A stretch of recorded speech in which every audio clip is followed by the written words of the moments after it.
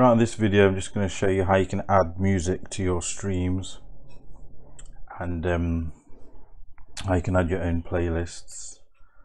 Uh, it's all a bit different now because of the copyrighted situation with Twitch. Um, so a lot of new people setting up, this is what you need to do. So basically you need to get um, sign up with something called Nightbot, which is really simple to do. So just go to nightbot.tv you'll have an option to log in or sign up and then you'll come to this screen. So we're going to log in with Twitch. Um, you can use YouTube but we're going to use Twitch in this example. And you'll get to this section just authorize that. And this is the uh, screen you'll get to immediately after signing up on the top right here it's going to say join channel for new people. I mean i've already joined but so mine says part channel. But you'll click on join channel and then just link that to your twitch channel which is really easy. It just asks you to log in and that's it to your twitch stream and it'll automatically link it. So now that's all set up. Um, i mean i'm fairly new to this i've only just done it myself um, you want to do song requests you want to go to song requests on the left hand side. Go to auto DJ and then you, you've got this enabled already then you want to go to settings. You can just read through this what it says but you want to change your playlist from Monstercat, which is the default one. I mean that's got I think it's EMD music or whatever it's called electric digital techno stuff if you like that, I mean, fair enough, you can leave it as Monstercat. But I wanted my own playlist, so to do that, you have to change this playlist option to channel. Um, submit that. There's other things you can do here, such as queue length, how many songs can be requested by people, and um, how many songs you can have in the queue list.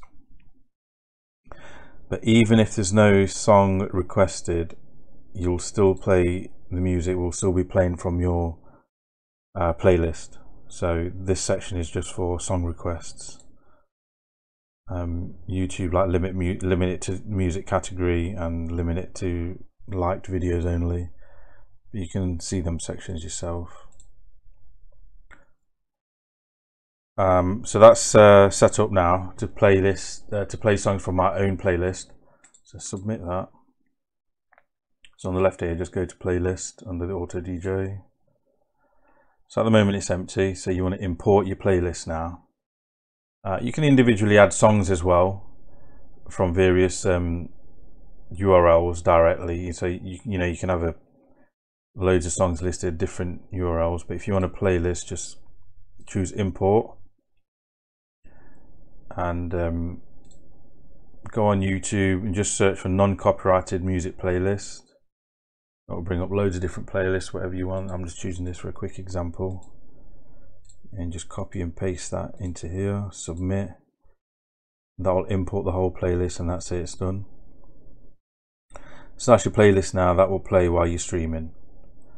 Uh, really simple. The important thing to remember is to have this open while you're actually um, playing. So you just need to leave this section open on Auto DJ make sure it's playing and um, you can just minimize that. And this will play while you're gaming whatever. This stream will you know this will carry on playing in the background.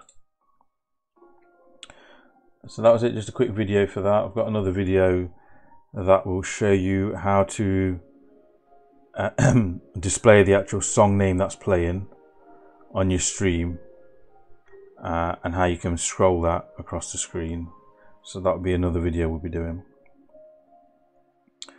And uh, just look out for that video as well but I thought I'd just quickly do this so people can get set up and get some music going on their streams. Alright guys thanks for watching